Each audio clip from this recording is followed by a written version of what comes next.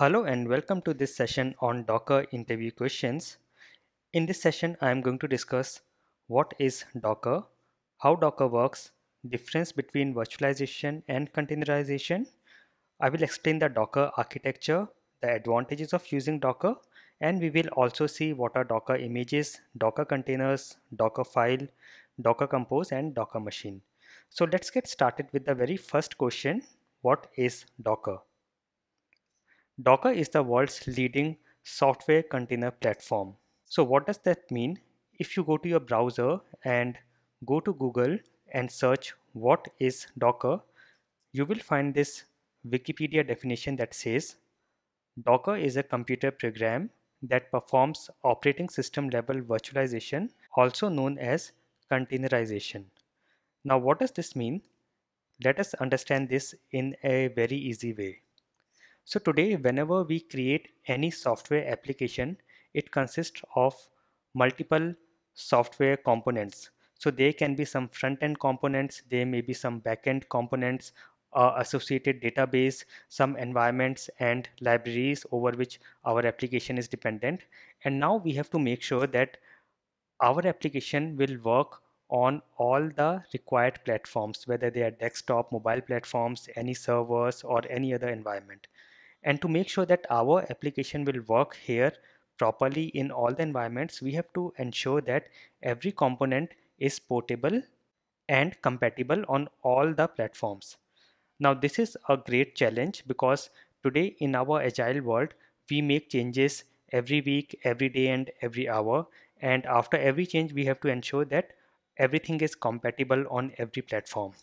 So if we create a matrix out of this, you can see here are our software components and at the bottom you can see the platforms where we have to ensure our components work. So for every components, we have to check the compatibility and portability with every possible platforms. Now this can be very challenging and very difficult. If we look at a similar problem that existed in the shipping industry many, many years ago, we had a similar problem. We had different kinds of goods and we had to ensure that every good can be shipped through multiple means to various platforms.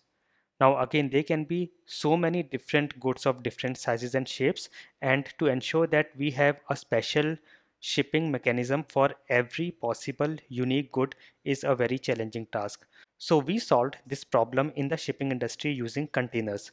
So containers are these standard boxes and whatever size and shape and weight and color of your good is, you can always pack your goods into this standard containers and then they can be shipped in a standard way to any location. So this revolutionized the shipping industry and the things you see around yourself, they must have been through one of these containers at some point in the time.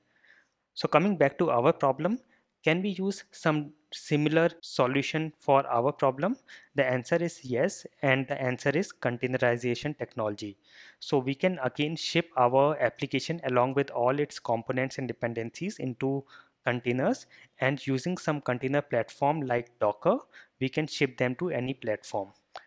So Docker is a container platform and it is a tool which is designed to make the deployment and running of applications easier and basically containers allow a developer to package the entire application along with its all dependencies into a single package and then it can be shipped using any container platform like Docker. So now you can imagine a developer will pack all its application and components into a container and then using Docker it can be shipped and deployed to any platforms and it will work completely okay and fine on all these platforms. So that is what Docker is. Let us see how Docker works. So let's say you are a developer. If you are using Docker, you will create a Docker file. Now Docker file is a text file which has instructions to create a Docker image. If you need more information on how to create Docker file and how does a Docker file creates a Docker image, you can watch my video on Docker file. So a developer will create a Docker file and we can build a docker file using docker build command and it will create a docker image and then we can create a container from the docker image using the docker run command so that will create a docker container which can be shipped to any platform and we can also push our docker image to any repository like Docker Hub. So Docker Hub is the Docker cloud repository where we can push our images or any other registry as well.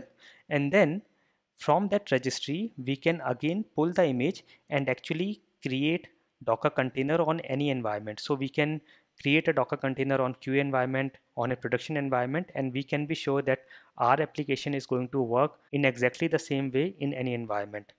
So this is one of the main advantages of using Docker. If you want to deploy your application on multiple platforms, you just have to build it once and using Docker containers, you can deploy it and in multiple platforms and it will work exactly the same way in every platforms. So here you create a Docker image and pull it to create Docker containers. Also, if you go to your browser and search for how Docker works and let me go to the images section and let us see this image. So here you can see this is the basic working of Docker.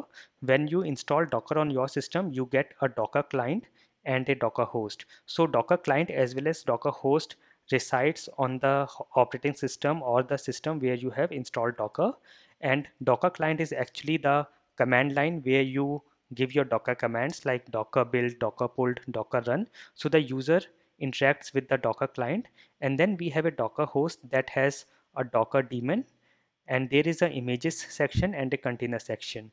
So here we can have a registry like Docker Hub or any registry on the cloud from where we can pull the images using Docker pull command and then we can create containers by using Docker run. So using the images we can create containers. So let us go back and we have learned how Docker works. Let us see what is the difference between virtualization and containerization. So here in virtualization we use virtual machines. So using some software applications and programs like hypervisor we can have virtual machine on our operating system or on our systems. And virtual machines have their own operating system over which we can deploy some other apps. So when you create a virtual machine you have to allocate some hard disk space and some memory from your own operating system. So for example if you have allocated 4 GB of hard disk space and 2 GB of memory that will be permanently allocated to that virtual machine as long as the virtual machine is running. And irrespective of the applications running on the virtual machine the amount of storage and memory being consumed by the application it will always be taking a fixed amount of hard disk and memory that you have allocated. So that is what virtual machine is and that is what virtualization is. When we discuss about containerization here we do not have hypervisor here we have container engine and we do not have a separate operating system for every container. We actually have just the dependencies and it uses the host operating system. So we do not have separate operating system for every container. And here the advantage is it will only use the space and memory that is required to run the application and rest of it is free and can be used by the host operating system or can also be used to create other containers. So also you can create a container over a virtual machine but if you do not want you can directly create containers over your host operating system. Let us also go to our browser and if you search for docker versus virtual machine and you go to any images uh, here you can see so you can see this is the same thing that we learned. We have hypervisor and then virtual machine that have their own operating system. In case of containers, we do not have their own operating system. And then also the major advantage is it does not use a lot of resources. It will only use the resources required to run the application over the containers. Let us now go to Docker architecture. So Docker has a client server architecture and whenever you install docker on your system or any system you get two component. One is the client which is the command line where you give the docker commands. And then we have a docker daemon. And then this all is called the docker engine. So again let me go to my browser. And if you search for docker architecture and go to images section here you can see some of the architecture. Let me go to this very simple image and this also explain the same thing which we have already seen so this part client and docker host exists on the host machine and this registry is the separate part which can be Docker Hub from where we can pull and push images. But here is the main architecture of Docker. From the client, we can issue these commands and the Docker host has Docker daemon, images and container section where we have the images and containers stored. So the daemon or the server receive the command from Docker client through REST APIs or any other protocol and then the Docker client and daemon can be present on the same host machine or it can also be present on the different host machines. Let us go to look at some of the advantages of using Docker. One of the main advantages you do not have to deploy and build your application on multiple platforms. Once you have built your application, you can package it into a container and this container can be deployed with the help of Docker on any platform any number of times. The other major advantage is you do not have to worry about the environment configurations and environment parameters. You can be sure that if it is working on one environment, it will work exactly the same on any other environment. Other major advantage of using Docker is portability and Docker containers can run on any platform. It can be your local system or it can also be a remote machine. And even if you want to port your containers from one machine to other, that is also very easy with Docker. So you can do version controlling in Docker like Git. So you can version control your images the other advantage of container technology is every application works in its own container, so there is isolation. The application running on one Docker container does not interfere with any other application in any other container or even with any application on the host system. And with all these features, the productivity increases because now you do not have to worry about build and deployment, about environment configurations, parameters, and all these things.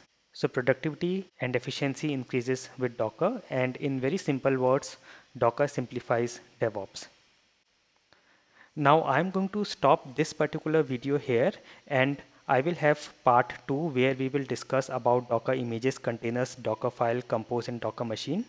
I hope this session was very useful for you. Thank you for watching.